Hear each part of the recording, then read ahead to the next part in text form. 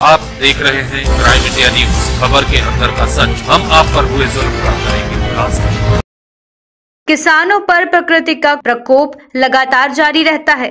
प्रकृति हर वर्ष की तरह इस वर्ष भी अपना प्रकोप दिखाने में पीछे नहीं रही।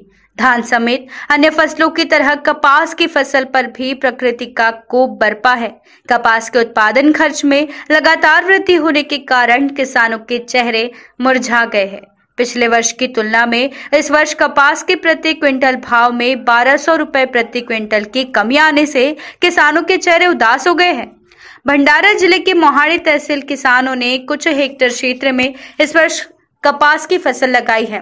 पिछले वर्ष पहली बार कपास का प्रति क्विंटल भाव पाँच हज़ार से पाँच हज़ार दो सौ रूपए बोला गया था, लेकिन इस वर्ष कपास का प्रति क्विंटल चार हज़ार रूपए बोला जा रहा है। एक तरफ़ प्रति क्विंटल भाव में कमी तो दूसरी ओर मजदूरों की बढ़ी हुई मजदूरी। किसानों का आर्थिक संकट बढ़ा रही है। गोबर की जगह रासायनिक खाद का उपयोग बढ़ने भी किसानों का उत्पादन खर्च दिनों दिन बढ़ता जा रहा है। कीटनाशकों की कीमत बढ़ने से किसानों का पूरा का पूरा बजट गया है। वर्ष के 12 माह में चार माह गर्मी, चार माह वर्षा काल तथा चार माह शीतकाल के होते थे। लेकिन पिछले दो वर्षों से ये तीनों प्रमुख ऋतुएँ पहले की तरह अपने निर्धारित समय से आ और जा नहीं रही है। इस वर्ष की खरीफ की फ़सल किसानों के लिए नुकसानदायक साबित होने वाली है।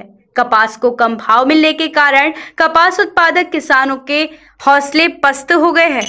B S crime India news के साथ जुड़े रहने के लिए YouTube website Twitter Facebook Instagram पर वीडियो देख लाइक कमेंट और शेयर करें। साथ ही यूट्यूब चैनल को सब्सक्राइब कर बेल आइकन दबाना ना भूले और गूगल प्ले स्टोर से B S crime India news dot com के एप्लीकेशन को डाउनलोड कर रोज़ाना ताज़ा खबरों के लिए हमारे साथ बने रहे।